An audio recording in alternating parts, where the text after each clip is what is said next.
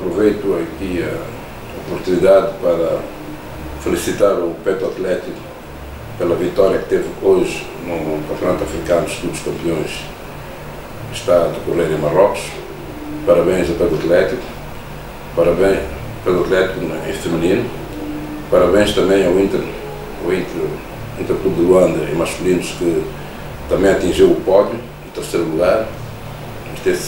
Sinal que o handball angolano continua a marcar uma presença firme, uma presença de peso na, na arena desportiva e handbolística africana.